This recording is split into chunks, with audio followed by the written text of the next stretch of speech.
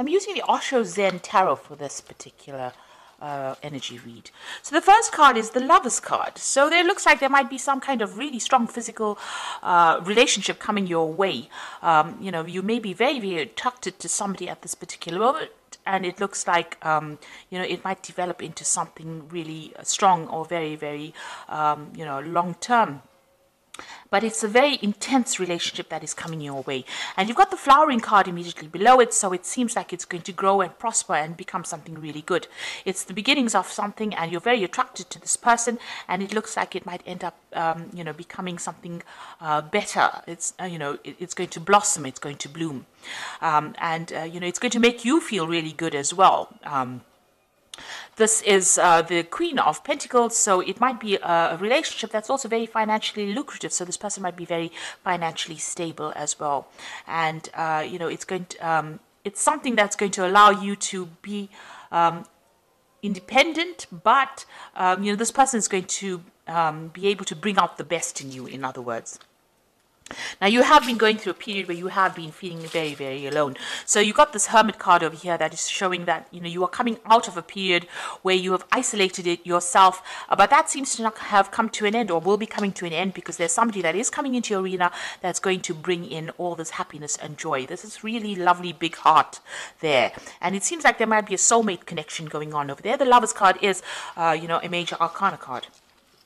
So in the past, you got the five of um, swords over here, which is the comparison card. Oh, it says comparison and participation. So it looks like, you know, you came out of a very, very difficult relationship. There was a lot of criticism. Maybe this person that you were involved in put you down a lot, uh, you know, with comparison, you know, comparing you to other people, saying you're not good enough, uh, you know, attacked your self-confidence. Uh, you know, they very, very much humiliated you in that particular relationship. They were always making you feel like you weren't giving your best and you've got the participation card of here so it shows that you know you um, um, you were married to this person it looks like. You know this is the four of rods there was a marriage that uh, uh, between you and this person and this person was always making you feel like you were not uh, good enough uh, for that particular relationship. So um, going into the future, you've got the miser card and the master. So the miser card is, um, you know, the four of uh, pentacles. It's about, uh, you know, trying to um, establish something that's long term, trying to establish stability. So it looks like this particular relationship that you start off with this person is going to end up being something that is stable and something long term and something that you're going to be able to build foundations on. And it's something that is going to be very, very good financially for you and it's going to bring you that financial stability as well for you. So something that you start off with a very, very strong attraction is going to be, um, you know, end in something that is, or it's going to uh, go towards something that is very stable and because Capricorn is an earth sign, you like your stability and, you know, you're going to be putting down roots with this person. So it's going to be something that, uh, you know, you might be even buying a home together or you might be even making another commitment. This might, you know, you might be getting married to this person or, uh, you know, having a long-term commitment commitment with this person. So it's going to be something that is going to um, grow into something very, very stable. And this person that you're going to be involved in is going to make you feel really good about yourself. You've got that flowering card, you know, um, they are going to bring out the best in you. And then you've got the mastercard so it's going to be something that you know you will have uh, you know um, you would have conquered or you would you'll be victorious in this. And you know it will make you um, um, independent of everybody else's opinions. You're going to get back your confidence. The you know the confidence that had been taken from you in this previous relationship is going to come back to you again, and a lot of uh, you know uh, growth and enlightenment will come in with this particular relationship. So there's a lot of stability, something long term, uh, something with strong, firm foundations are coming is coming in for you. Uh, it starts off as a very um, strong physical attraction, uh, you know, and the person makes you feel really good about yourself as well. And you are coming out of that period of loneliness uh, with that uh, hermit card. So these are the energies for that those two weeks. So something good coming for you. That's going to allow uh, a lot of growth, a lot of personal growth as well. So this is the uh, Art Nouveau Tarot, and oops, I have shuffled this deck. I'm just going to do the main read with it.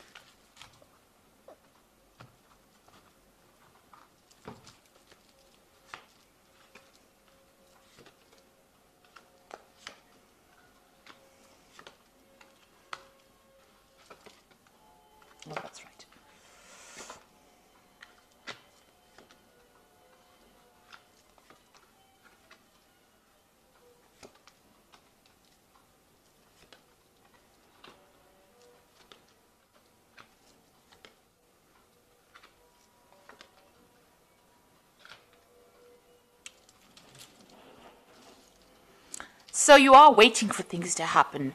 Um, you've got this hangman over here, and um, this is somebody who has made a lot of sacrifices in life. Uh, but you're also seeing things now from a very, very different perspective. Um, you know, you've had to sacrifice maybe whatever relationship you were in previously. Uh, you know, there was a lot of um, humiliation by the other person, so maybe they made you feel really small and insignificant with this hangman card it's about you know people having a go at you all the time or having a go at your self-confidence. Uh, right now you know things you're waiting for things to change and um, you are um, you know you've become a bit more spiritual as well. Um, and you know you're maybe you're going with the flow right now. You're not trying to manipulate things. You can see this person's hands is behind their back. So you're letting things happen naturally. You're not trying to make things happen anymore. And you're waiting for things to change. So uh, you know the energies are a bit uh, uh, at a standstill a bit stuck at the moment. Uh, but the hangman is a very temporary phase and it allows you to see things from a different perspective and get insight about things and you can see a lot of insight coming in. This man's head is lit up over here. So you're getting a lot of uh, new ideas and new uh, concepts coming to you, and you know you're changing your philosophy as well with that hangman. You've got the Knight of Coins um, crossed with this Ten of um, cups. So whatever family situation you were in, it seems to have come to an end. So you, it looks like you were in a committed relationship and you seem to have had a family with this person, but that seems to have now come to an end. This is the Ten of Cups. So that relationship uh, is over. It might have been a water sign person that you were involved in, uh, maybe Cancer, Scorpio, Pisces, and you have ended that relationship. You've got the Knight of Coins over here, and this is you. You are now focusing on your work more than anything else, and uh, you know you're working to achieve your uh, material success and your material goals um, now that this relationship has come to an end. So in the past uh, year or so, you've now, you know, been looking at, at the past relationship. That cup is empty here. So, you know, all that uh, emotional loss that you went through, you've been maybe nostalgic about the past, but also maybe dwelling too much in the past, uh, thinking about all that you have. Maybe there's an element of regret as well. But you're also looking to the past for lessons uh, that you can take into the future with you. So you are, you have learned a lot um, but you are feeling very emotionally empty, or you have been feeling very emotionally empty um, in this last year, as you know you're you're still searching now. You're searching for something new. Now, in this last few months, you've got this Ace of Rods, which looks like there has been a new relationship that has entered. This is, you know, it might be a very, very sexual relationship over here, and it looks like there's been a lot of communication between you and this particular person. So there's a new uh, love interest or a new attractive, you know, you're very attracted to this person, and it might be a very sexual relationship that you have started or you're planning on starting, and you or you're thinking about starting because you've got the lovers on your mind over here. So you are very physically attracted to this new person that has come in and you know maybe you've started a new relationship with this person a very sexual relationship with this person now, going into the future, you've got the Page of Swords over here. So this is a card talking about maybe somebody spying on you or somebody, you know, um, that you're dealing with is very dishonest. Um, so there could be somebody around you that is carrying tales of the, maybe talking about your new relationship to some, you know, the person that you were involved in a relationship.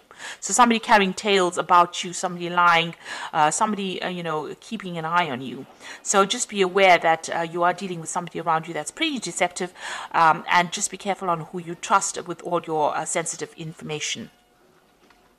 Now you've got uh, what's going on with you. You've got the three of swords of here. So you are still getting over that particular relationship that you went through. That heartbreak is still quite fresh in your mind. You've got that three of swords, and you are still keeping uh, to yourself. You know, you're not letting yourself go emotionally. You may be thinking of starting a new uh, relationship, but you know you don't really, you haven't gotten over that old relationship, and you're still spending a lot of time by yourself, and you're still very, very upset about what happened. You're still very heartbroken. Now it looks like there's that offer that comes in with this page of cups. So this person that you are very interested in might be, um, you know, also very interested in you. Because there seems to be some kind of message or some kind of social invitation that comes in for you uh, and you know this person may want to start a relationship and maybe they're asking you out. So some kind of invitation coming in for you some kind of offer coming in for you on the emotional front Now, you are crying too much about the past and you are regretting a lot about uh, things that happened. You've got this Five of Cups over here and your hopes and fears, and maybe you're afraid that you're going to get disappointed again, and maybe this is why you're keeping to yourself or trying not to get involved with somebody. And you're, you're spending too much of time uh, dwelling on all those uh, past losses. Uh, you need to get out of that energy of negativity and stop crying over things that have gone that you can't change. You need to make plans for the future. Now you've got the Emperor, you've got the Ace of Cups, and you've got the Queen of Swords.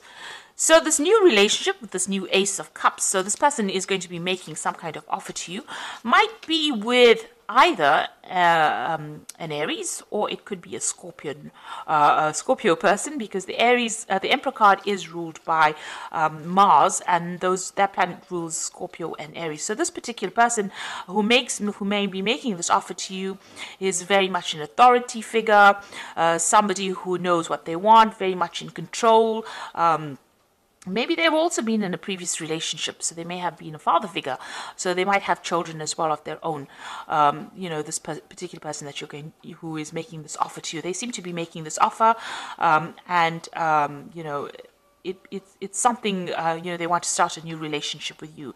Now, you've got that Queen of Swords over here afterwards, so it looks like maybe this person, this Emperor person, this is also you taking control of the situation, but I think it, it's more of the energies of the person that's making that emotional offer because it's followed by that Ace of Cups. So this could be an Aries or a Scorpion, a Scorpio person making an offer to you, a new emotional offer, maybe a new, a new social invitation. Um, you're keeping to yourself quite a bit. You're very, very um, cautious you can see she's still hanging onto that sword. So, you know, you're just, you're very, very worried because if you see she's clinging onto that sword very, very tightly, but there's blood coming out from her hand over here which is showing that you know you are hiding a lot of your feelings and you're still very hurt about whatever happened. Uh, you you know you want to show people that you know you you are in control, you're you're in charge, uh, you know what you're doing, uh, but that might be just effectively shutting everybody out else out and not allowing them to come in and make this offer to you. So there could be this new offer that comes in from this person who could be an Aries or a Scorpio, and you know you're trying to uh, you know it doesn't seem like you want to um, get involved in it. However, this woman is looking at this man here. So maybe you, you have got feelings for this person or you are attracted to this person because it does seem like you've, you've got the lovers in your mind. So you are thinking about this person um, and, um, you know, they are going to be making some kind of offer. So try not to isolate yourself. You're a very determined person, very independent, and people see that, but you're also isolating yourself far too much, keeping too, you know, with this three of swords you're getting over that relationship that you dealt with. And maybe uh, you know it's time for you to um, go out and accept invitations uh, or you end up being really unhappy. And you know if a new love interest comes in it you know it might be well worth taking that risk on this particular person. Um, no two relationships are ever the same uh, so this might be something that you know could be very very emotionally fulfilling for you especially since it's the ace of cups it's the beginning um, you know and um, You've got, um, you know, th those fish there that is talking about emotional fulfillment coming in for you. So you could end up uh, having a very emotionally fulfilling relationship with this person if you give it a chance. But just watch out for people around you gossiping and uh, carrying tales. So watch out whom you trust. Right, so I'm just going to draw some cards from the Archangel Power Tarot. So there you go. The first card is the leap of faith. So this card, the, this is, says, believe in yourself, listen to your heart, and do what gives you joy. So this person is going to be making some kind of emotional offer to you, this emperor person. And instead of isolating yourself from it, uh, the oracle card is saying, take that leap of faith. Take a chance, believe in yourself, and listen to your heart. It's time for you now to start afresh. You've got the magician card over here. You can manifest life as you want uh, what you need will magically appear successful beginnings. So it looks like if you take that leap of faith, something brand new is coming in, this relationship is coming in, and it's going to be everything that you want it to be. So you can change it away, you know, to be what you need, and uh, you know, it will go your way. You'll be able to um, get what you want out of that relationship. So something brand new coming in, and it's going to be a new beginning. You've got the page of Ariel over here. It says an um, excellent opportunity will be offered to you.